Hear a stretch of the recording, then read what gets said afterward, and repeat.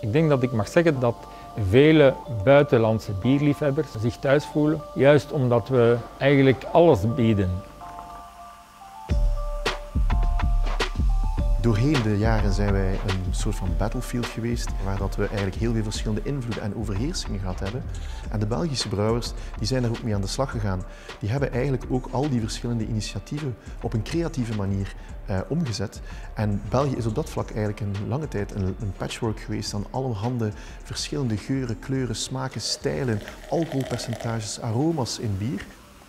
Heel in het bijzonder heb je bijvoorbeeld de vier verschillende gistingswijzen. De streek rond Brussel en de Zennevallei. Daar heb je de micro-organismen uit de lucht die gebruikt worden om het bier eigenlijk op een spontane gisting eh, te laten ontstaan via de spontane gistingswijze.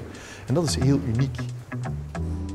Lambiek en Geuze nemen een bijzondere plaats in die Belgische biercultuur, omdat ze historisch getuigen zijn van eh, de oude eh, manier van bier maken, namelijk het gebruik van wilde gisten wilde gisten die wij in onze brouwerij eh, gaan binnenhalen via de luiken aan het eh, koelschip waarop het pas gebrouwen wordt gedurende een aantal uur koelt.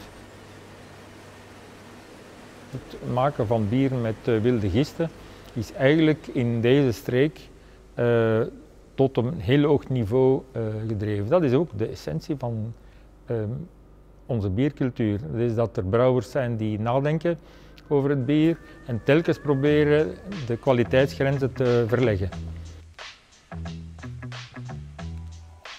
Het materiële komen dan in het immateriële.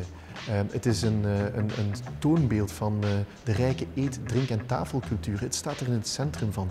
Het brengt ook heel veel mensen samen. Het is een verbindend en conviviaal eh, element. En het nodigt ook mensen uit om te gaan studeren rond bier, om bierverzamelingen te gaan aanleggen, maar meer nog ook over, om te gaan schrijven over bier. Dus het materiële en het immateriële gaan hand in hand en hebben echt een heel versterkend effect ten opzichte van elkaar. Die UNESCO-erkenning is voor uh, België zeer uh, belangrijk, omdat ze natuurlijk helpt uh, onze Belgische biercultuur te borgen. Wij zijn alle verantwoordelijk voor wat we gekregen hebben van de vorige generaties. Vele brouwers en bierliefhebbers en verenigingen werken hard om met Belgisch bier aan de slag te gaan en ervan te genieten, want daarvoor is het gebrouwen. Maar we moeten er zeker voor zorgen dat uh, ervan niets verloren gaat en dat we het kunnen doorgeven aan de volgende generaties.